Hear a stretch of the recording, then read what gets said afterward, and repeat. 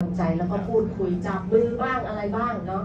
ก็จะสามารถเป็นผู้บริจาคเองได้ค่ะ อยากอยากถามทางสภากาชาติค่ะตอนนี้ยังมีความเชื่อที่ว่าแบบ LGBT ไม่สามารถที่จะบริจาคเลือดได้ค่ะนี่ LGBT เนี่ยสามารถบริจาคเลือดได้นอกจากชายกับชายนะคะเอ่อผู้ชายที่เอ่อแปลงเพศแล้วนะคะเป็นผู้หญิงแปลงเพศแล้วนะสามารถบริจาคโลหิตได้นะคะ อันเนี้ยยังอยู่ในเรื่องของการวิจัยอยู่ นะคะก็เราทำวิจัยกับฟ้าสีรุ้งอยู่นะคะ เพื่อให้กลุ่มเนี้ยสามารถบริจาคโลหิตได้ ใกล้แล้วค่ะ ใกล้จะวิจัยเสร็จเรียบร้อยแล้ว เป็นอย่างไรก็คงจะมาแถลงให้ทราบกันค่ะเอ้ยอะช่วยช่วยอธิบายอีกนิดนึงยังไงฮะที่บอกว่าชายกับชายแล้วมันในเชิงเลือดมันยังไงฮะ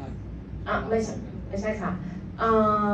ผู้ชายที่มีเพศสัมพันธ์กับผู้ชายถูกไหมคะเอ่ออืมจะพูดภาษาแพทย์จะจะจะตกใจกันไหมเนี่ยหมายถึงว่าทางทางประตูหลังทางประตูหลังซึ่งค่ะเกิดการเสียดสีและเป็นแผล ซึ่งอ๋อจะสามารติถดเชื้อเกิดการติดเชื้อได้ การบริจาคโลหิตเนี่ยมันจะมีการติดเชื้อเอดส์ไวรัสตับอักเสบอักเสบ B C เนี่ยจากกระแสเลือดและก็การมีเพศสัมพันธ์ สมมุติว่าทุกคนถามอ้าวผู้หญิงกับผู้หญิงล่ะที่เป็นเลสเบี้ยนล่ะ มันไม่มีการสอดใส่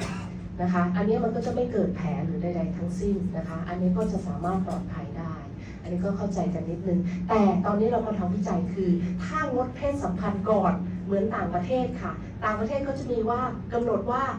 กลุ่มชายรักชายถ้ามีเพศสัมพันธ์งดกัน 3 เดือน แล้วก็มาบริจาคเขาก็จะให้บริจาค ซึ่งตอนนี้ประเทศไทยเพิ่งจะเริ่มทำวิจัยนะคะ ก็รออีกสักนิดนึงค่ะ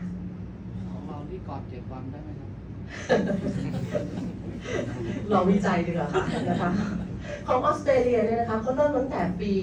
หลายปีเหมือนกันค่ะสิบกว่าปีที่เขาทำวิจัยนะคะงดเพศสัมพันธ์3ปีค่ะ